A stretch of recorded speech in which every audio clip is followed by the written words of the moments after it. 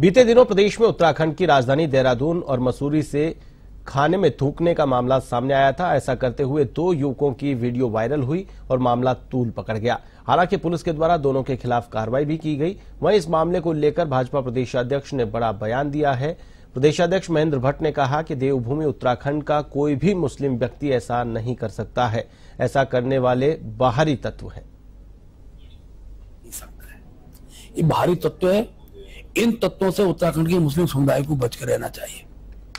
जो इस प्रकार की घटनाएँ, जो अमानवीय है और जिसके कारण विद्वेष खड़ा होता है, एक तंत्र बाहरी तत्वों द्वारा उत्तराखंड के द्वारा मैं उत्तराखंड के सभी मुस्लिम समुदाय के भाइयों से आग्रह करता निवेदन करता हूँ ऐसे तत्वों को स्वयं बेनकाब करे।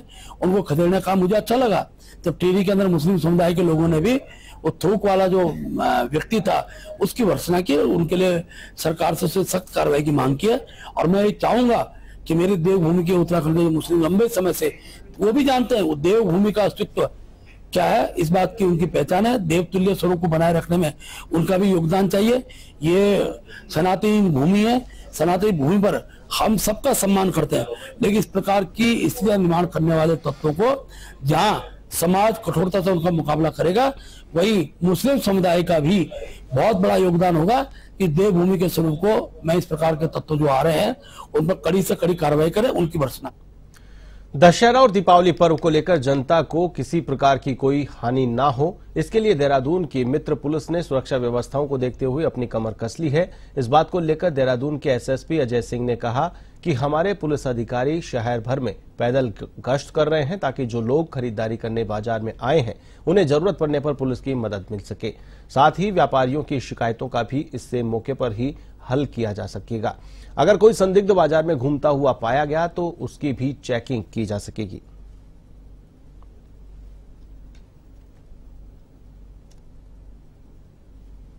दिन चल रहा है, इसके बाद अभी दशहरा और उसके बाद दिवाली भी आ गया तो देखा जाए तो ये बड़ा धार्मिक पर मास भी रहता है और साथ ही साथ इसमें बहुत सारे इसमें त्योहार भी रहते हैं। इसको देखते हुए अभी जो आपने देखा होगा, बाजारों में गश्त भी पुलिस को बताई गई कि जो पैदल गश्त करे, जिससे कि कम से कम ऐसे जो अतिक्रमण हो रहे हैं, वो भी हट जाए, जो संदिग्ध लोग घूमने वाले हैं, वो भी चेक हो जाए। और बाजारों में गश्त होने से चूँकि भीड़ भाड़ रहती है, बहुत सारे देख रहे हैं कि परिवारजन, महिलाएँ, बच्चे हैं, सब लोग बाज़ार में निकलते हैं शॉपिंग करने के लिए तो कम से कम उसमें सुरक्षा की भावना भी रहे। और किसी को शिकायत हो तो पैदल गश्त में ज़रूरी वो पता चल जाती चाहे हमारे व्यापारी गढ़ हो, उनकी भी कोई समस्या है और शिकायतें हैं तो उसका भी समाधान हो जाए। तो ज़्यादातर फोकस हमारा है कि ऐसे भीड़ भाड़ वाले इलाकों में पैदल गश्त पर ज़्यादा ज़ोर दिया जाए और साथ ही साथ जो अवैध अतिक्रमण है, उस पर भी खबर उत्तराखंड के हल्द्वानी से है। रेशम विभाग ने पहली बार महिला सहायता समूह के माध्यम से रेशम कोए से हस्तनिर्मित उत्पाद तैयार कर बाजारों में उतारा है।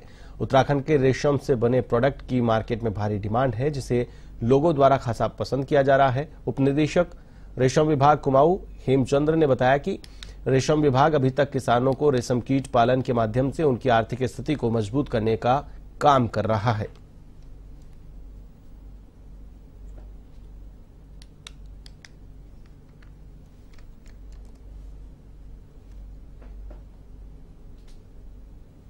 सर सबसे पहले तो मैं ये कहूँगी कि आज तक हमने जो भी सीखा, वो पुराना था, परंपरागत था, परंतु इसमें एकदम हमने नई चीज़ सीखी है। तो महिलाओं का उत्साह भी है और इसकी डिमांड भी काफ़ी है। जैसे वो लोग इसमें से डिपार्टमेंट ने जब हमको ट्रेनिंग दी तो ट्रेनिंग लेने के साथ साथ महिलाएँ एकदम इतनी सक्षम हो गई थी कि वो अपने प्रोडक्ट बना के बेचने के लिए भी तैयार हो गई थी। जबकि जब हम और चीज़ सीखते हैं तो उसमें हमें बहुत टाइम लग जाता है। तो और दूसरा डिपार्टमेंट से हमें यह सहयोग भी रहा कि जैसे हम लोगों ने सीखा तो तुरंत हमको अपने रेशम विभाग से ये सहयोग मिला कि दो तीन जगहों से उन्होंने हमारे लिए ऑर्डर भी लिए और हमारे साथ की जो और महिलाएँ भी यहाँ आई हुई हैं उन सबने मिलकर प्रोडक्ट तैयार किए और उसका हमको अब बिक्री के लिए तैयार है। रेशम विभाग और रेशम के इतिहास में उत्तराखंड के भीतर ये पहली बार हो रहा है कि हस्तशिल्प हाथों की कला से तैयार किए हुए उत्पाद रेशम कोई के यहाँ पर उत्पादित किए जा रहे हैं और ये जो रेशम से जुड़ी हुई महिलाएँ हैं एसएचजी की, उन्हीं के द्वारा तैयार किए जा रहे हैं। उनको इस कार्य में प्रशिक्षित कर दक्ष किया गया है। और बहुत सुंदर सुंदर उत्पाद यहाँ पर तैयार कर रही हैं, जिनके कहना चाहिए कि पिछले माह सितंबर में ही इन्होंने प्रशिक्षण प्राप्त किया है और मात्र एक माह का समय हुआ है और अभी तक ही लगभग तीस हज़ार के ऑर्डर प्राप्त कर चुकी हैं, जिस पर काम कर रही हैं। और आगे भी इनको दीपावली के अवसर पर लगभग पंद्रह हज़ार के ऑर्डर प्राप्त हो चुके हैं और नौ वर्ष के लिए लगभग पचास हज़ार के ऑर्डर फिर इनको प्राप्त चंपावत टनकपुर एनएच में चलथी के पास पिछले महीने एक हाइड्रा क्रेन खाई में गिर गया था, जिसमें चालक की मौत हो गई थी। वहीं शुक्रवार को हाइड्रा क्रेन को खाई से निकालने के लिए तीन क्रेनें एनएच में पहुँची। क्रेन ऑपरेटरों द्वारा बिना किसी की परमिशन के एनएच बंद कर क्रेन को निकालने का काम शुरू कर दिया गया, जिससे एनएच में एंबुलेंस सहित बड़ी संख्या में यात्री और वाहन भी फंस गए। यात्रियों द्वारा क्रेन मालिकों से वाहनों को निकालने के लिए रिक्वेस्ट की गई। पर उनकी एक नहीं सुनी गई ऐसे में यात्रियों में आक्रोश बढ़ गया।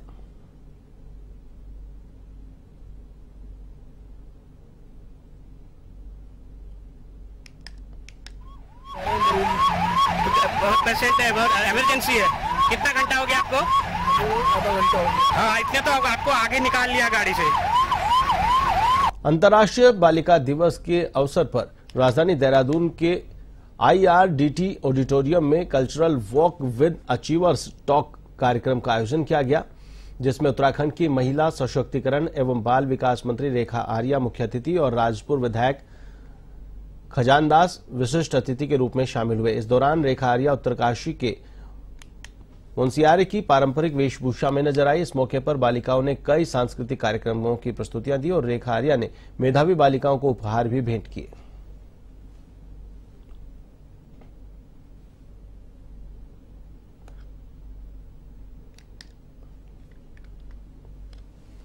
आज सर्वप्रथम अंतर्राष्ट्रीय बालिका दिवस की, प्रदेश की समस्त बालिकाओं को और देश विदेश की समस्त बालिकाओं को मैं बहुत शुभकामनाएँ देती हूँ।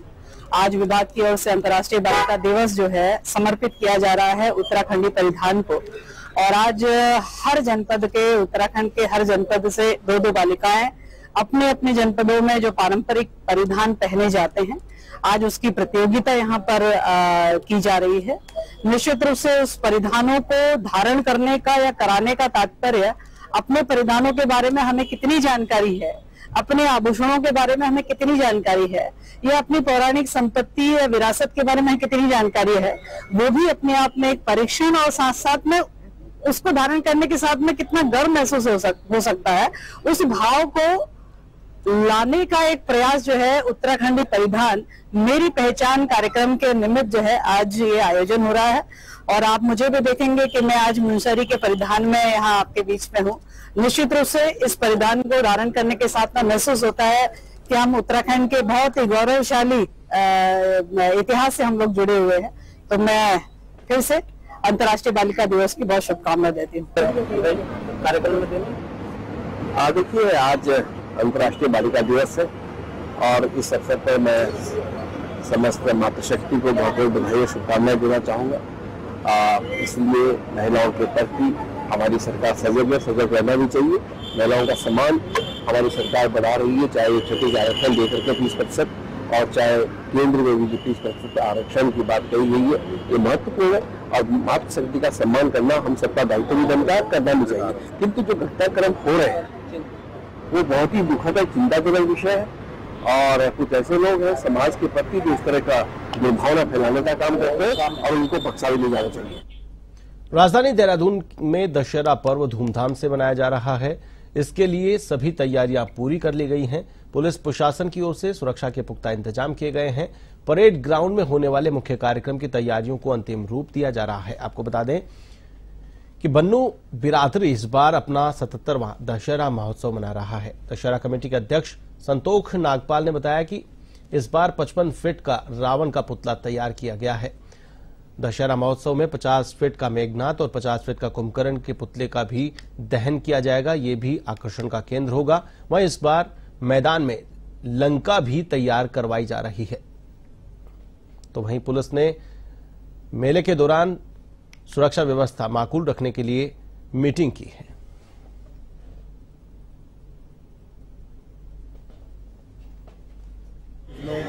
साल से बन्नू बिरादरी दशहरा कमेटी मनाती आ रही है। इस बार ये पर्व सबसे बड़ी खुशी की बात है। बन्नू बिरादरी के साथ साथ बन्नू बिरादरी बाल युवा संघ भी परेड ग्राउंड में दशहरा महोत्सव मना रही है। और इस बार शोभा यात्रा, रावण के पुतले, लंका भव्य लंका है। और बहुत बढ़िया प्रोग्राम इस बार रहेगा। आप थाना क्षेत्रों में हमारे द्वारा जो है और अतिरिक्त पुलिस बल जो है दिया गया है। जो कुछ हमारे हेड मास्टर की जो ट्रेनिंग चल रही थी उनको भी दिया गया है। कोर्ट से भी हम लोगों के द्वारा जो है कि उनके लिए दी दी जा रही है। खटीमा क्षेत्र के झनकैया थाना परिसर में महाकाली देवी मंदिर का निर्माण किया गया जिसका नवरात्र में विधिवत हवन पूजन के बाद शुक्रवार को श्रद्धालुओं के लिए मंदिर खोल दिया गया। पुलिस प्रशासन ने भंडारे का भी आयोजन किया, जिसमें स्थानीय लोगों ने प्रसादी ग्रहण की।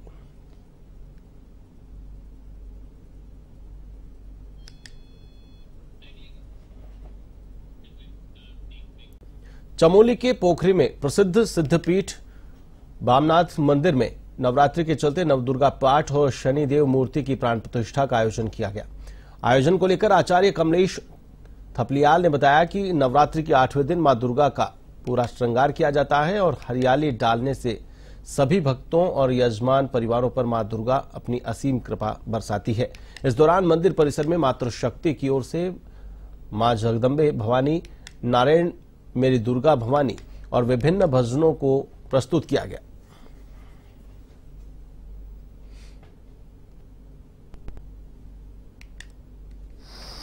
पहली बार मुझे इस अवसर मिला है।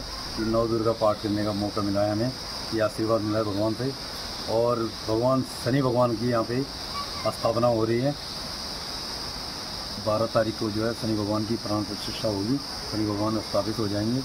आप सभी लोगों से अनुरोध है कि बारह तारीख को देवी भगवती का जागरण भी है और शनि भगवान की स्थापना भी है और आप लोग सभी आने का कष्ट करें। बोले बामेश्वर भगवान की जय।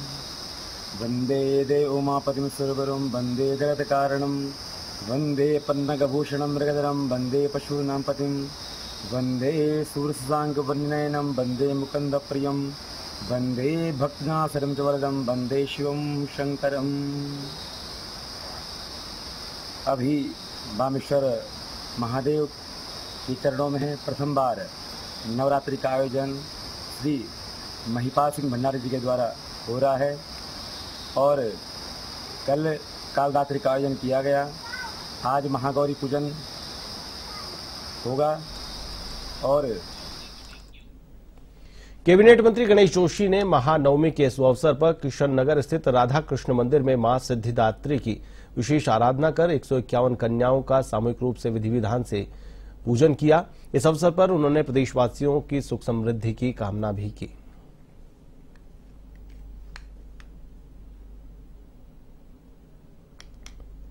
उत्तराखंड देवभूमि है तो जो हमारी संस्कृति है उसमें कहा जाता है। यथ नारायण के पूछते रमनते तब देवता क्योंकि आज सौभाग्य से अष्टमी भी है और नवमी भी है। जहाँ महागौरी और शिवरात्रि की पूजा होती है। आज नंदी शर्मा जी के वार्ड में हमने किशोर गोविंद जी के सहयोग से वो यहाँ के अध्यक्ष एक सौ इक्यावन कन्याओं का पूजन हमने यहाँ पर किया है। उनसे आशीर्वाद लिया है कि हे माँ हे माँ गौरी हे माँ सिद्धिदात्री हमें इतनी शक्ति दे। जिन जिन क्षेत्रों में हम काम कर रहे हैं, उन क्षेत्रों में हम आगे बढ़े। देवभूमि में परंपराओं का निर्वहन किस तरह किया जाता है, इसका प्रत्यक्ष उदाहरण खुद मुख्यमंत्री पुष्कर सिंह धामी हैं, जिन्होंने कन्या पूजन के समय अपने कानों में हरियाली लगाकर देवी स्वरूप कन्याओं के चरण धोए और अपनी पत्नी सहित उनका पूजन कर उन्हें भोजन कराया। मुख्यमंत्री आवास में भी कन्या पूजन और गौ पूजन किया गया। मुख्यमंत्री पुष्कर सिंह धामी ने सर्वप्रथम अपने आवास पर माँ भगवती की पूजा अर्चना की, नवरात्र पर्व पर उद्यापन किया। इस पूजन के बाद मुख्यमंत्री पुष्कर सिंह धामी ने अपने परिवार के साथ छोटी छोटी देवी स्वरूप कन्याओं को हरियाली लगाई और उनके पैर धोकर भोजन कराया, उनसे आशीर्वाद लिया। साथ ही कन्याओं को उपहार भेंट किए गए।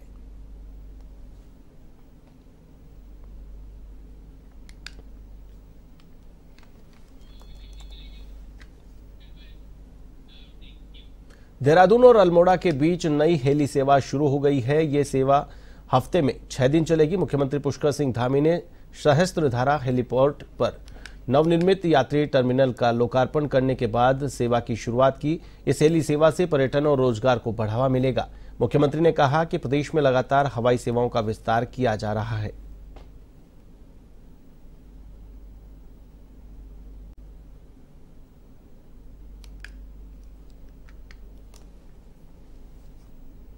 उड़ान योजना के अंतर्गत प्रधानमंत्री जी की विशेष कृपा के कारण से कि सबको इस सुविधा का लाभ मिले। आज ये अल्मोड़ा को देहरादून से हमारी ये सवारी शुरू हुई है, हवाई सवारी। और इसके माध्यम से हमको बहुत सारी सुविधाएँ मिलेंगी। समय की बचत होगी और समय के बचत के साथ साथ कभी आवश्यकता पड़ने पर किसी ज़रूरतमंद के लिए जब हायर सेंटर जाना हो, कभी बहुत आकस्मिक ऐसी सेवाओं की आवश्यकता होती है, उसका भी इसका लाभ हमको मिलेगा।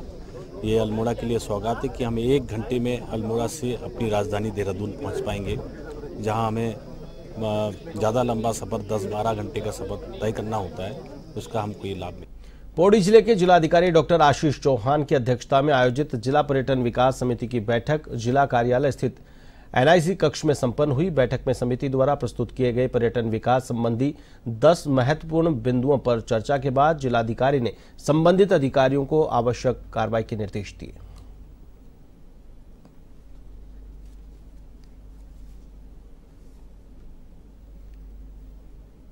पर्यटन विकास समिति की जो हमारी बैठक थी, उसमें कई सारे इंपॉर्टेंट इश्यूज़ को हम लोगों ने डिस्कस किया। उसमें कुछ चीज़ों को मैंने उनको डायरेक्शंस ये दिए हैं कि श्रीनगर में एक वाटर फेस्टिवल एक किट को हमें आगे बढ़ाना है। सिमिलर लाइन पे हमारा भारत के उदय का जो कोटद्वार से संबंध है या ऋषि कानून से संबंधित जो हमारी एक पावन स्थली है तो उसे एक टूरिज़्म के मैप पे इस्टेब्लिश करने या उसे ज़्यादा हाईलाइट करने के लिए, एक फेस्टिवल किए जाने के लिए मेरे द्वारा डायरेक्शन टिहरी राज परिवार के वंशजों ने पारंपरिक शस्त्र पूजन का कार्यक्रम शुक्रवार को अष्टमी तिथि को समर निवास में संपन्न किया।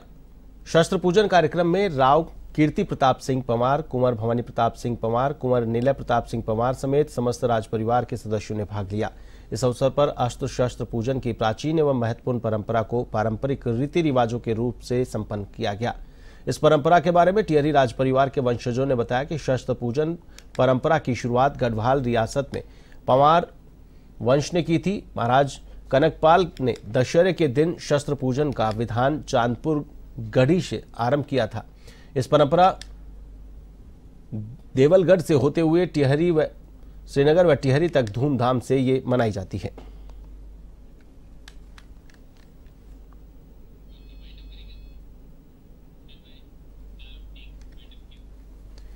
बुलेटिन में फ़िलहाल के लिए बस इतना ही। मुझे दीजिए इजाज़त। नमस्कार।